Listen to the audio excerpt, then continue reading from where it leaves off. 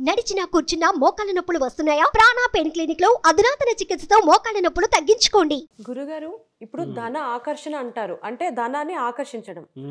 అంటే ఏంటి? ఇప్పుడు ధనాన్ని మనం ఏదైనా పూజ ద్వారా ఆకర్షింప చేయొచ్చు అంటారా ఆ, వాస్తవం. ఇప్పుడు చూడమ్మా ధన ఆకర్షణ మనము అనుకొని ఒక ప్రశ్న తీసుకుంటే ధనం అనేది మనిషి పుట్టిన తర్వాత వచ్చిన ఒక వస్తువు. ధనం ఉపయోగకరంగా. అంతకు ముందుకు మనిషి పుట్టాడు. అంటే మనిషి దాన్ని తయారు చేసుకోగలిగాడు. అప్పట్లో నాణ్యాలు బంగారు నాణ్యాలు ఉండి వజ్ర వైడీల నుండి నీకు ఇది ఇస్తా నాకు ఇది అని పంపకాలు జరిగిన తరుణాలు చూసాం మనం. అయితే ధన ఆకర్షణ కోసం అని చెప్పేసి ఒక వ్యక్తి పూజ చేయగానే డబ్బులు వచ్చేసేస్తే బాగుపడిపోతే అమ్మ. మ్మ్. బహుశా ఈరోజు మీరు నేను మంచి స్థాయిలో ఉండేవాళ్ళం. పూజ ద్వారా డబ్బులు రావడం అనేది అవాస్తవం. ఒక పూజ ద్వారా ఏం జరుగుతుంది అంటే అమ్మ నీవు పుట్టిన ఈ జన్మకి అర్థం ఏందో తెలుస్తుంది. నువ్వు ఉదాహరణకి ఈరోజు ఈ వస్తువు ఈ శరీరం ద్వారా ఉన్న మనము గత జన్మలో ఏం పాపం చేసాం అనేది నీకు నాకైతే తెలియదు కానీ పరమాత్ముడికి తెలుసు కదమ్మా. అలాంటి పరమాత్ముడు నీవు పూజ చేయగానే నీకు అర్హత ఆయనను దాటిన ఒక శక్తి ద్వారా నువ్వు ధనాన్ని రప్పించుకోగలవా. రాగలదా? రాలేదు. కానీ నువ్వు కష్టపడ్డప్పుడు ధనాన్ని మాత్రం ఆయన కురిపించగలడు. కష్టపడుతున్నాడు వాడు. వాని కష్టానికి ప్రతిఫలంగా పది రెట్లు ఇద్దాం ఇంకా కష్టపడతాడేమో మరి అని ధన ఇస్తాడు. ఆకర్షణ పూజలు ఎందుకు? ధనాకర్షణ పూజలో అర్థం ఏముందంటే అమ్మా ఇప్పుడు న్యాయమైన పనులు చేసామే అనుకుందాం. కాబట్టి ధనాకర్షణ అప్పుడు నీకు రావచ్చు. న్యాయంగా నువ్వు ఎవరిని కూడా ఉద్దేశించి ఏ విషయంలో చేయట్లేదని. ఇప్పుడు ధనాకర్షణ నువ్వు ఎవరినో ఏదో చేసేసి వాడు అక్రమంగా ఆస్తుల్ని నాకే వచ్చేయాలని చేసినావు అనుకో అమ్మా అందులో ఖచ్చితంగా ఫెయిల్ అవుతావు. నువ్వు చేసే పనిలో ధనాకర్షణ ఎప్పుడు వస్తుందంటే దానికి ముందు నీ జాతకాన్ని చూస్తారు వాళ్ళు. ధనాకర్షణ నీ జీవిత రేఖలో ఉందా లేదా. నీ భవిష్యత్తులో ఆ ప్రణాళిక ఉందా లేదా? ఇవి చూసిన వాళ్ళే చేసుకుంటారే కానీ ఎవరు పడితే వాళ్ళు ధనాకర్షణ చేసుకుంటే ప్రాణాలు పోయిన వాళ్ళు కూడా వందల్లో ఉన్నారు మరి. అంత సులభంగా ధనము ఇప్పుడు లక్ష్మీమాత స్థితిగతులు ఉన్న దేవత. ఆవిడ అంత సులభంగా అందరి దగ్గరకు వచ్చేస్తుందా? మీరే చెప్పండి రాదు కదా. నెల కష్టపడితేనే నీకు ఒక రోజు జీతం అమ్మా. ఇరవై వేలు ముప్పై వేలు. ఆ ముప్పై వేలు నువ్వు నెలంతా తింటావా తల్లి? మూడు రోజులు నాలుగు రోజులు. నీ ఈఎంఐలు నీ పంచాయతీలకే పోతాయి. అంటే ముప్పై రోజులు కష్టపడితేనే నీకు ముప్పై వేలు ఇస్తున్నది లక్ష్మీమాత మ్మ్. ఉన్న ఫలంగా ఒక రోజు పూజ చేస్తే నీకు కుమ్మరిస్తుందా అదే కదా అలా చెయ్యడం అనేది అవాస్తవం. కానీ అమ్మ కారణ జన్మలకి కారణం చేత రాసి పెట్టున్నప్పుడు మాత్రం ధనం విపరీతంగా సిరి సంపదలు కలిసి వచ్చే తరుణాలు వందల్లో వ్యక్తులు చూసాం మనం. కానీ నిజంగా నీకు ఆస్తి అందాలి అని ఉండి అనుభవించాలని రాసి ఉంటే అమ్మ ఖచ్చితంగా నీకు అందుతుంది. అలా నీకు అంది లేదు నువ్వు శాశ్వతంగా దీన్ని తినలేవు దాన్ని నువ్వు వేరే వ్యక్తి యొక్క కడుపు కొట్టి వేరే వ్యక్తి యొక్క నమ్మకాన్ని కొట్టి తెచ్చావని ఒకవేళ డబ్బు తెస్తే అమ్మ వంశాలు పుట్టు పూర్వతరాల్లో చాలా చాలా ఇబ్బందులు పడి వికలాంగులై చూస్తాం ఒక్కొక్కరిని మనం. ఇప్పుడు చాలామంది ఇంట్లో అమ్మ మానసిక ఒత్తిడి లేని వాళ్ళని చూస్తాం డబ్బులు చాలా ఉంటాయి. అంటే మానసిక ఒత్తిడి మనిషిని కొనలేదు. కానీ డబ్బులు ఉన్నాయి దేన్ని కొనగలుగుతాడు ఆయన? ఆయన శరీరాన్ని కొనగలడా? అవయవాలను కొనగలడా లేదు కానీ ఎప్పుడు చూసినా వజ్రవైడూర్యాలనే ఉంటుంది ఒక శరీరం కానీ దాన్ని చూడడానికి తప్పితే అనుభవించడానికి రాదు కాబట్టి నేను అనేది ఏంటంటే అమ్మ అనుభవించడానికి ఉన్న అన్నాన్ని పుణ్యాన్ని ఏ శరీరంతోనైనా చేసుకోవచ్చు. లక్షల కోట్ల ఆస్తి ఉండి నువ్వు మనిషికి శరీరాన్ని అనుభవించలేకుండా నిద్ర మాత్రం వేసుకొని నిద్రపోతే నీకు మనశ్శాంతి లేకపోతే ఆ లక్షల కోట్ల విలువేందమ్మా సిరి సంపదలు శరీరానికి నీ అంతరాత్మని గెలవడానికి చూయించుకోవడానికి అయితే అమ్మా నువ్వు అన్నట్టుగానే ధన పూజలు చేసుకొని. బంగ్లాలు కార్లు అన్నిట్లలో తిరిగితే నీకు కేవలం నీ శరీరానికి సౌందర్యమే కానీ లోపల నుంచి మనశ్శాంతి రాదు.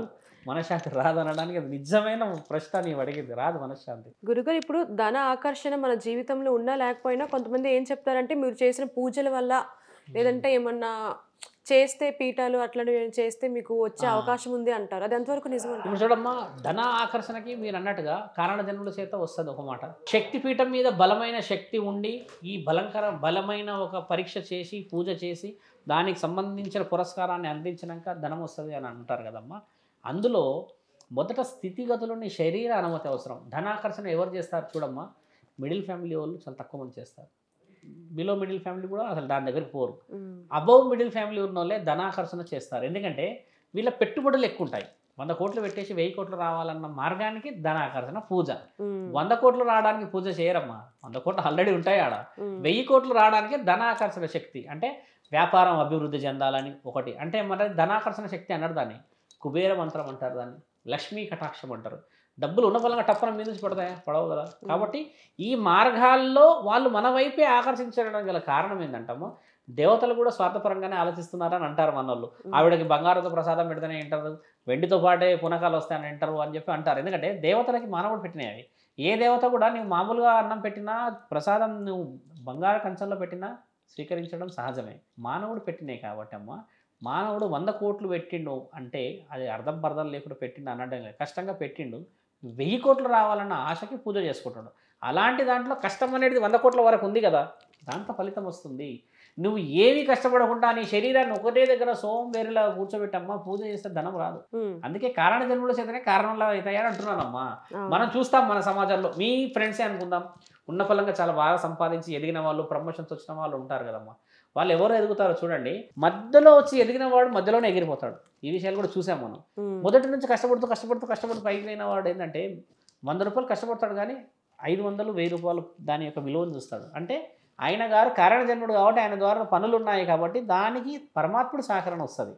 నేను అన్నిటిది అది. గురుగారు ఇప్పుడు కష్టపడితే ధన వస్తుంది. మరి మనం ధనం అని అంటే లక్ష్మీదేవిగా కొలుస్తాం. మరి దైవాలు అని నమ్మడం కరెక్ట్ అంటారా? వాస్తవం. ఇప్పుడు. దైవం అనేది చూడమ్మా లక్ష్మీమాత ఎవరైతే ఉన్నారో కాలాక్రమేణా ఆవిడ స్థితిగతులు మనం మార్చుకున్నాం. లక్ష్మి అనేది ఇప్పుడు అన్ని అవసరాలు కొనుక్కోవడం.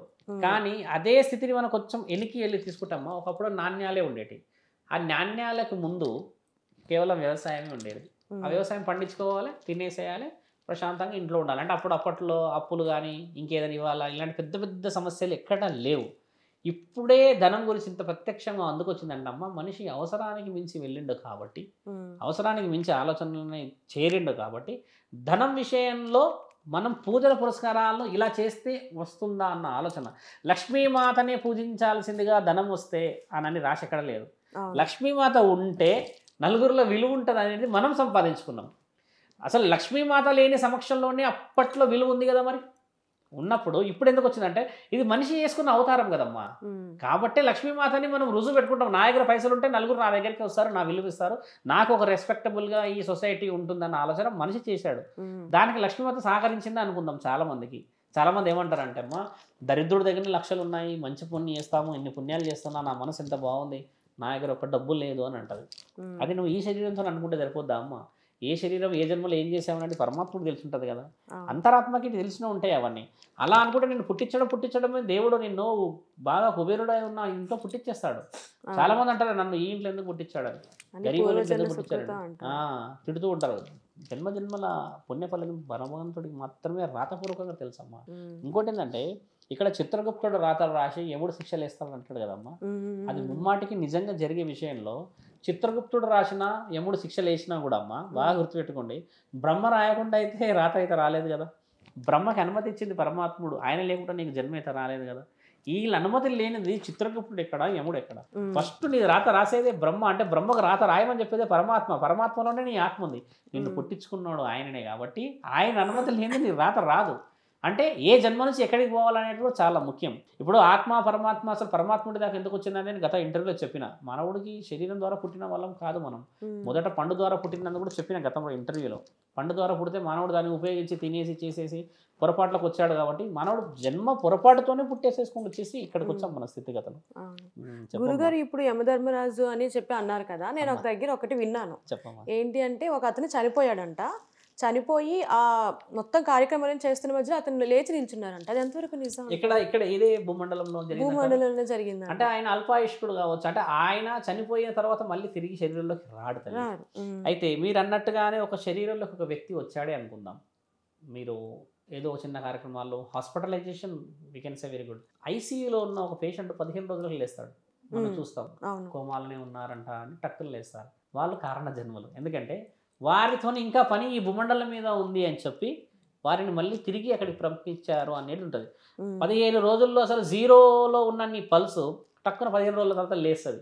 అంటే అప్పటికి నీ శరీరంలో నువ్వు పోతావు లేస్తావు వస్తావు కానీ ఒక బలమైన నిర్ణయం రావడానికని భగవంతుడి యొక్క శక్తి చాలా అవసరం పడుతుంది అక్కడ ఇప్పుడు నువ్వు ఉదాహరణకి నేనే ఉన్నావు అనుకోమ్మా ఏదైనా ఒక చిన్న పొరపాటు రీత్యా వైద్యశాలకు వెళ్ళాం. మూడు రోజులకు నాలుగు రోజులకు తిరిగి వచ్చాం అనుకుందాం. అదే చిన్న పొరపాటు వాళ్ళు వెళ్ళి తిరిగి రాని వాళ్ళు ఉన్నారు చాలామంది. అంటే. కారణం ఏంది? నీకు నువ్వు కలిసి వెళ్ళినట్టే ఏదో విధంగా. అంటే నీకంటే ముందే పరమాత్మ రాసినాడు అంటే అకాల మరణాలు అనకూడదు దాన్ని. నీ మరణాన్ని ఒక కాలానికి అనుకూలంగా రాసి పెట్టాడు పరమాత్ముడు అందుకని నేను అన్నట్టుగా యమరా ధర్మరాజు వచ్చి తీసుకెళ్ళాడు. యములు వచ్చి శమభట్లు వచ్చి శిక్షలు వేశారు అనేది దానికంటే ముందమ్మా. పరమాత్మ ఆజ్ఞతోనే నువ్వు మళ్ళీ అవసరం పడతావు. యముడు కూడా అమ్మ కారణ జన్మల దగ్గరకు వచ్చినా ఎవరి దగ్గరకు వచ్చినా కూడా అడిగి వెళ్తాడు. యముడు ఎవరైనా తీసుకెళ్ళిపోవడం చూసామా మనం? కొన్ని యమభట్టుల్ని చూసామా? అందుకే అదంటే దైవ కార్యక్రమాలు. నీ అవసరం ఉన్నది అంటే వాళ్ళు తీసుకోపోవడానికి రారు. నిన్ను శిక్షించి మళ్ళీ అందులో వేసి నువ్వు పుట్టడానికి వెళ్ళి అంటారు ఆత్మహత్యలు చేసుకుంటారమ్మా మందులు తాగేసి టాబ్లెట్లు వేసుకొని ఎందుకు అవసరమా? నువ్వు అలా పుట్టేటోని మధ్యలో చావేటోని అయితే నేను ఎందుకు పుట్టిస్తాడు పరమాత్ముడు? అందుకని మనిషి తెలుసుకోవాల్సింది ఏంటంటే నీవు నిజంగా భగవంతుడి ధ్యాసలో ఎప్పుడు ఉన్నావంటే అమ్మా నీ మరణం నీకు చాలా సహజంగానే పోతుంది. పాపాలు చేసిన వాడు యాక్సిడెంట్లో చచ్చిపోయిన అంటూ ఉంటారు చూసారా? ఇవన్నీ ఏంటంటే వాళ్ళంతా కారణంతో ఉన్న వాళ్ళంతా. అనుభవించి యూ థ్యాంక్ యూ